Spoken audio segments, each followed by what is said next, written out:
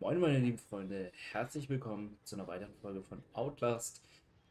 Ja, wir haben einiges verloren, meine Lieben. Wir haben einiges verloren.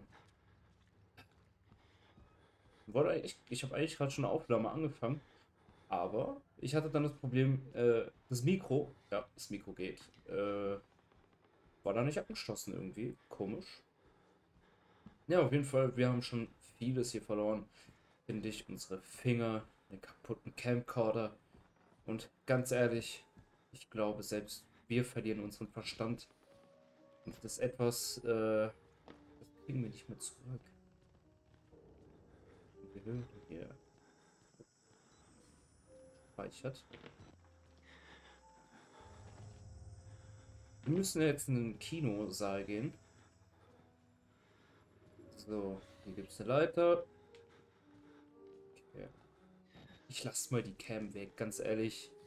Das Problem ist irgendwie auch, dass wir mit der Cam jetzt auch nicht mehr so, sage ich jetzt mal, guten Bereich haben, wo man auch gucken kann, weißt du. Also, man sieht es ja an dem Riss hier. Ich finde, er staut ein bisschen.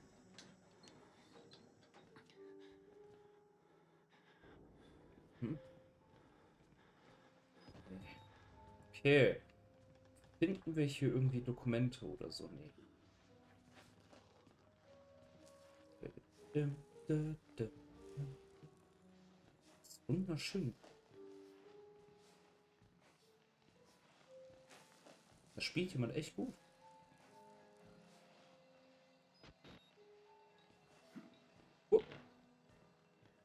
So.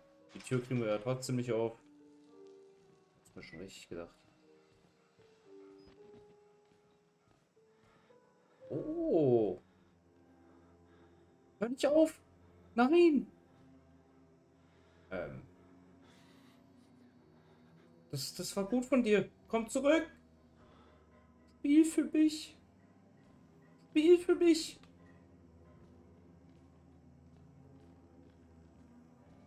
So.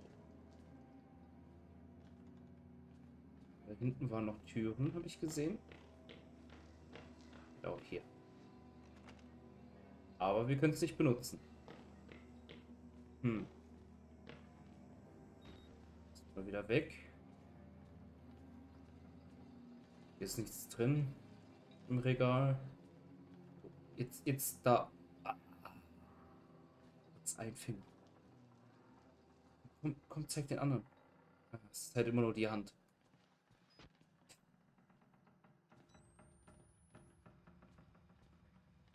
Okay. Geknattert. Exit. Hm.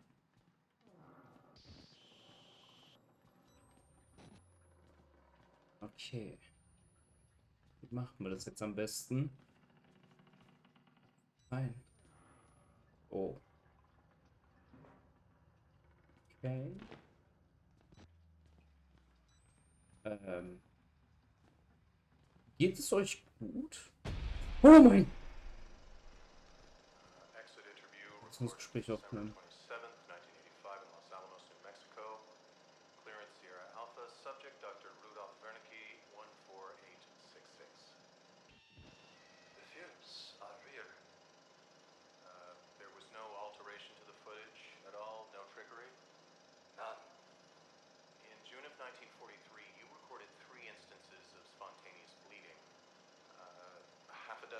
subjects began to develop brain tumors? Yes. The autopsies revealed that the tumors were pure lead. It killed them? Can you explain why the results could not be reproduced in the United States? I have my theories. My homeland in those years. It's impossible to understand the things we felt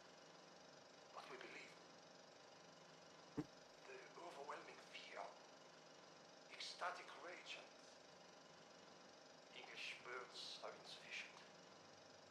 More than hope. The human mind in that environment is capable of extraordinary things. You're saying the experiment needed... The proximity to death, to overwhelming madness. Only a test subject who had witnessed enough horror was capable test subjects achieved something supernatural? No, Do you think that they contacted something supernatural? nothing is supernatural. Then what was it? You said Project Wallrider was a gateway. A gateway to what? Ein Tor wohin? Okay, dann gucken wir uns auf jeden Fall mal unsere Notizen an. Das Wernicke Entlassungsinterview. Der Mann klingt wie Dr. Selzers annehmischer Bruder. Er ist ein 25 Jahre alte Tonaufnahme, ein Interview mit Dr. Wernicke los. Los Alamos bedeutet Regierung. Wernicke spricht über spontane Blutungen, Tumore, psychosomatische Reaktionen bei bereits verhaltensgestörten Menschen. Er scheint auf einer Gratwanderung zwischen Wissenschaft und Mystik zu sein. Nur eine Person, die genau, äh, die genug Grauen erlebt hatte, war in der Lage, die Maschine zu aktivieren. Der morphogenetische Antrieb. Der Antrieb im Film, den sie zeigen, er setzt sich in meinem Kopf fest wie der Ohrwurm eines Musikstücks. Ich blinzle und sehe Rorschach-Tests, die wie ausschwärmende Insekten und infizierte Operationswunden aussehen. Die Patienten sprechen davon, den Antrieb zu benutzen, um den Wallrider zu beschwören. Es ist das Summen. Ich höre es in meinen Knochen.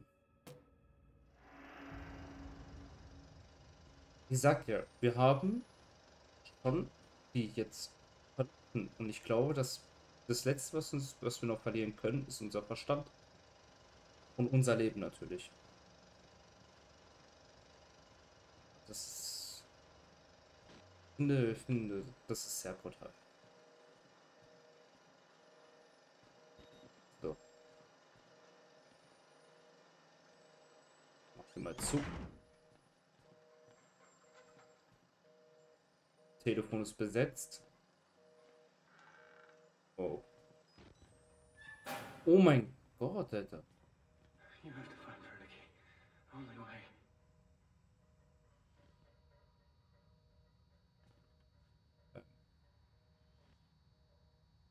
Siehst du Orks? Der versteckt sein Gesicht.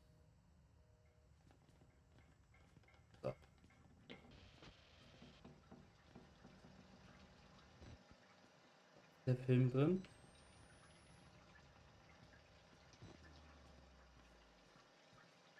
Oh, eine Akte. Wasch dir schön regelmäßig die Hände. Oh. Betreff an äh, AW fleischfressender Bakterien. Nekrotisierende Faszitis. Wirklich? Verdammt, ich kündige. Natürlich kündigst du und dann bist du hinterher auch hier. Okay, hier komme ich weiter. Jetzt hoch. Wir mal hier reinschauen. Oder auch nicht.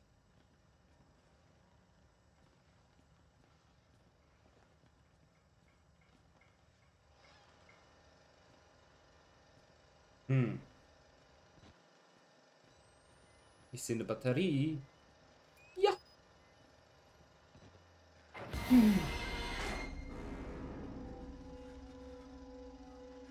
Kollege. Kommen Sie bitte raus. Äh. Ah. Ah, ich denk's mir schon.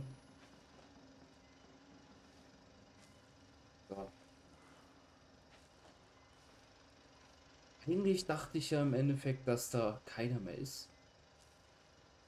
Klar, einer hat den Film angemacht. Das heißt, der, wo den Film anmacht, der muss ja auch dort sein. So ist nicht. So. Hier geht's nicht mehr weiter. Rüber! Ah.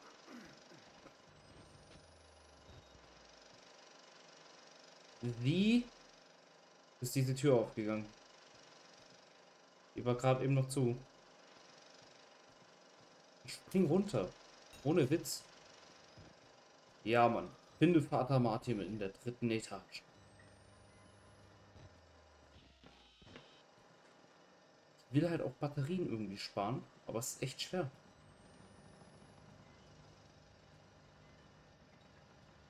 So. Komme ich jetzt hier durch? Nein?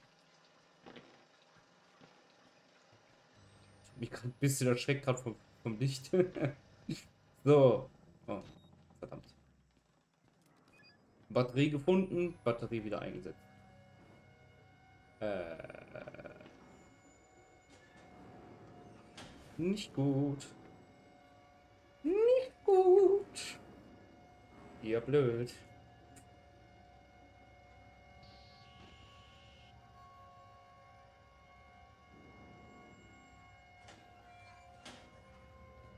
Ja, so ein bisschen mal reinglotzen.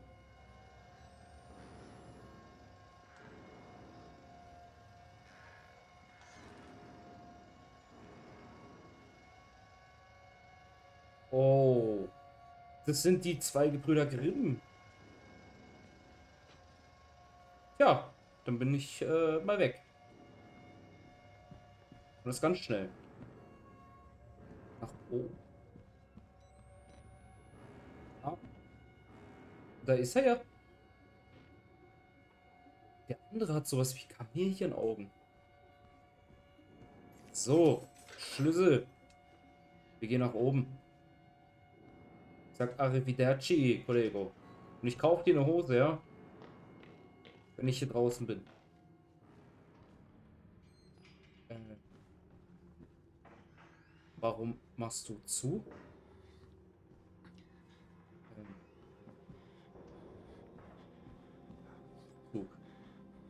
Für diesen Aufzug ist ein Schlüssel notwendig.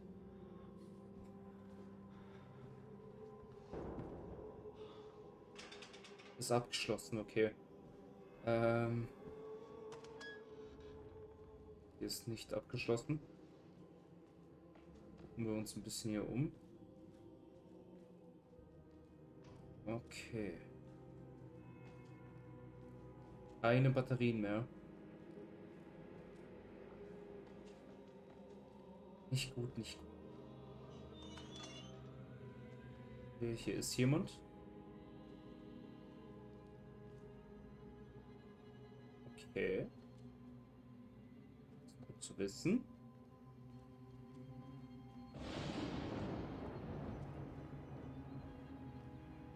Hey. Wie geht es dir? Hallo. Ich will wegschubsen. Ich mach mit ihm. Komm. Ich mach dich fertig. Nee, ich gehe jetzt zu unserem Prediger. Oder auch nicht.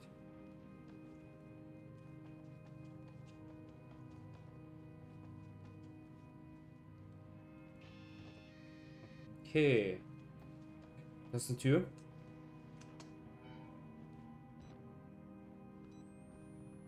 Da ist eine Topfpflanze. Hm.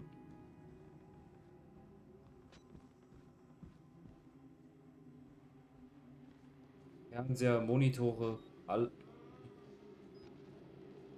Betet. Und wieder diese atmosphärischen Störungen. Ein Patient kniet und betet. Vielleicht glaubt er an Vater Martins Dreck. Vielleicht hört er was, was ich höre, nur deutlicher. Vielleicht ist das der Weg, um von hier zu entkommen. Der Priester nannte es das Evangelium des Sandes.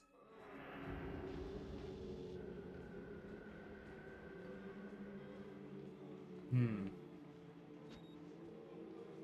Meinte mit atmosphärischen Störungen das Licht. Man weiß es nicht. Aber wir lassen den Bruder mal beten.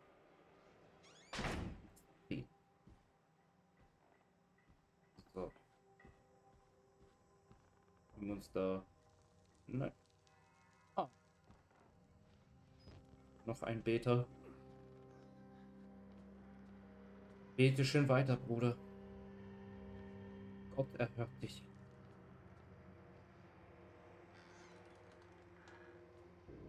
Okay. Ein Klo. Können wir mal alle Türen aufmachen. Gucken, ob wir Batterien irgendwo in der Toilette finden oder so. Please avoid contamination. Wash your hands. Ja. Fleischfressende Bakterien, so hieß es doch. Schwierig, diese Kamera einfach mal wegzulegen.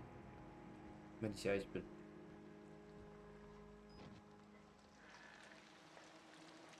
Oh. Muss noch gucken. Aber es sieht so aus, als wäre jeder am Beten. Die auch. Der hat eine Hose. Oder warum ziehst du die nicht an? Du frierst doch, guck mal. What the fuck? So. Noch ein Beta. Noch ein. Und er hat sogar eine Hose an. Oh mein Gott. Und der auch. Nehmt euch mal drüben ein Beispiel, bitte. Ist nur einer. Ich hab's doch gewusst. Es gibt noch ein Dokument. Ich bin ein unwürdiger Bittsteller, der unserem Herrn nur dienen kann, indem er ihn nährt. Bitte nimm mich, Warrider. Lass es den Apostel meines Hirten sehen und verbreite es mit seinen Lügen für eine größere Wahrheit. Deine Zeit in der Welt ist gekommen. Mein Fleisch sehnt sich nach deiner wunderschönen Erscheinung. Mein Blut ist erfüllt von dir und wartet nur darauf, freigelassen zu werden. Dies ist mein Gebet. Ritze dein Evangelium in mein Fleisch. So, es, es hört sich schon ein bisschen so sektenmäßig an. Äh, ja. Aber ich könnte mir jetzt vorstellen, dass das Vater Martins Zimmer ist. Könnte ja sein. Weil, wie wir wissen, ist er eigentlich auch nur ein Irrer. Eine Batterie. Perfekt. Und da kommen wir nicht weiter. Das heißt, wir müssen da durch. War nochmal das Fenster. Da.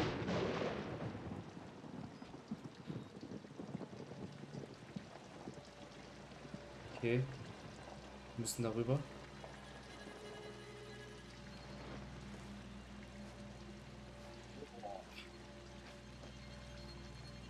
Allein das Wetter hier, das gibt's nicht.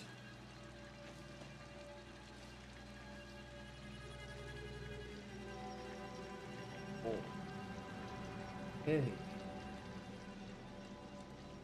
Noch ein Beta. Godhead. Sickness. Die Tür zugemacht. Ah, hier komme ich dann raus. Wie geil ist das denn? God hates sickness. God hates money. God always provides a way. Oh, ähm, Entschuldigung.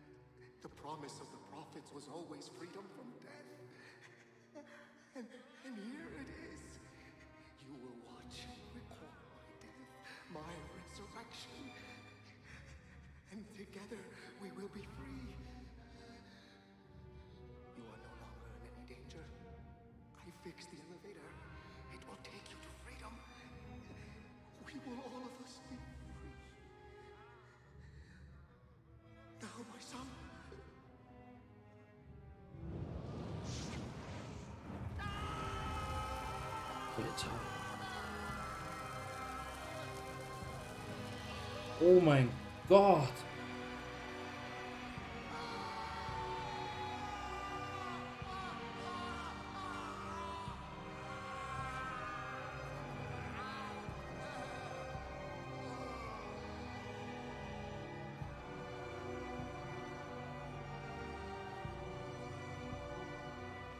Wow. Uh. Das ist also der Schlüssel. Schlüssel für den Aufzug. Wow. lieben Leute, wir sehen uns in der nächsten Folge natürlich wieder. Und dann sind wir endlich mal draußen hoffentlich. Also bis zum nächsten Mal. Danke fürs Zuschauen und bis dann.